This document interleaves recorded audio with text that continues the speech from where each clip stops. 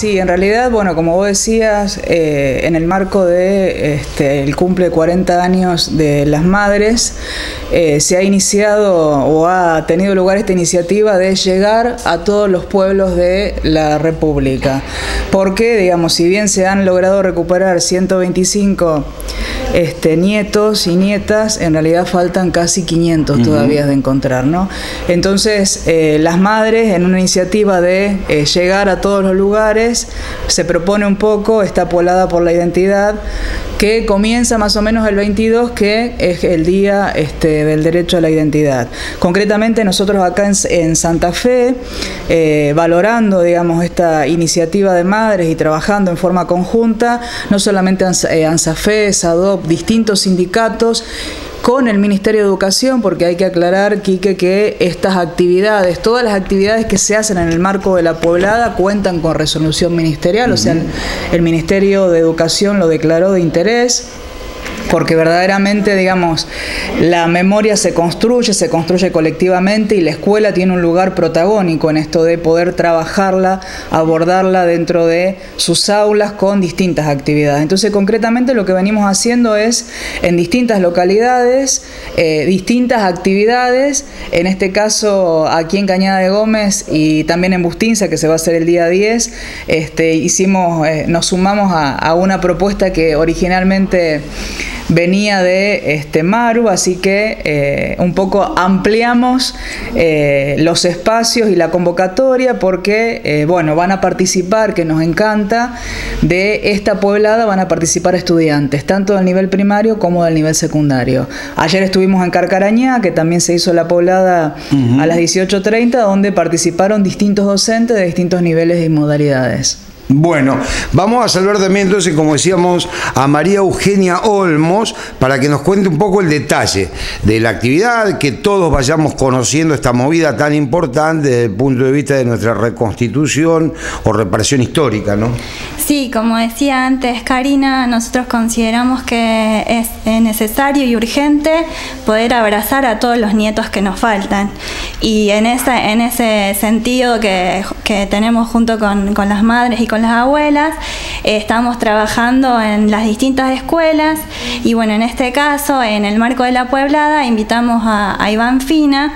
Eh, Iván eh, tiene una historia atravesada por, el, terrorismo de Estado que azotó nuestro país porque en el caso de él, bueno, asesinaron a su papá y a su mamá la llevaron a un centro de detención clandestino estando embarazada de nueve meses, por lo tanto él está buscando a un hermano o a una hermana. Eh, y bueno, por eso consideramos importantísimo que los chicos conozcan esta historia y con la de él, toda la de los nietos, que están buscando todavía su identidad. Eh, y lo que las abuelas proponen también es esto de la pueblada, que se haga en manifestaciones artísticas, educativas, culturales, porque quizás en pequeños pueblos o en, distintas ciudades eh, pueden estar los nietos que nos faltan. Claro, porque es una historia que parece tan lejana en el tiempo, sobre todo para generaciones más recientes, y también como me pareciera, bueno, que todo pasó en Buenos Aires, Rosario, Córdoba o Tucumán, centros quizá más importantes, y puede haber pasado acá a la vuelta de la esquina, ¿no? Y exactamente, digamos, nosotros si vamos a nuestra propia historia local sabemos que tenemos, digamos, víctimas del terrorismo de Estado, como mencionaba este Maro. Pensemos en Fanny, por ejemplo, o tenemos gente que fue secuestrada. Entonces, en realidad el sentido que tiene esto es, como decía Maru, de llegar a las localidades porque los nietos que todavía falta recuperar, que nos están faltando. Que, son la mayoría. Exactamente, este, no necesariamente están, como vos decís, en las grandes localidades, al contrario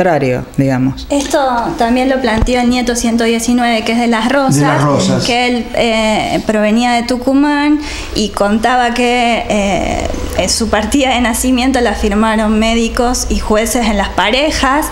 Y bueno, él, planteaba esto, que en las pequeñas localidades a veces no se habla de estos temas. Por eso es muy importante construir la memoria colectiva y dar a, conocer estos casos para que eh, estos nietos encuentren su identidad después de 40 años. Bueno, me dicen entonces bien a partir de qué hora, el día 10 del 11, Pueblada por la Identidad en Cañada de Gómez. Vamos a estar el día 10 a las 10.30 horas eh, en lugar a confirmar, porque en realidad inicialmente debemos decir que eh, se iba a hacer aquí en Cañada de Gómez en el Colegio San Antonio de Padua, pero digamos ahora como la convocatoria se ha ampliado y van a participar estudiantes de nivel primario y de nivel secundario, posiblemente necesitemos un espacio más amplio, así que este, vamos a estar mandando una invitación formal donde vamos a confirmar el espacio, pero es sí 10.30 horas. Y en la localidad de Bustinza es en el Salón Municipal a las 14.30 horas. A las 13.30. 13.30, bueno, corregimos, 13.30. Eh, lo que queríamos también aclarar es que vamos a estar también entregando materiales porque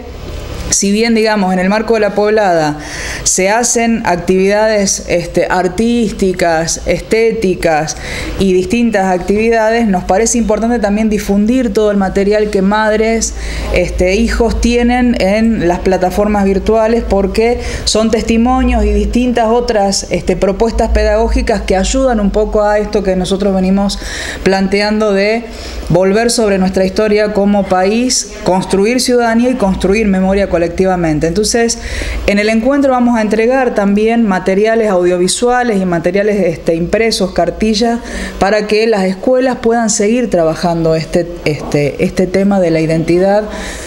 de acá en adelante, también como para impulsar este, y, y colaborar en este sentido.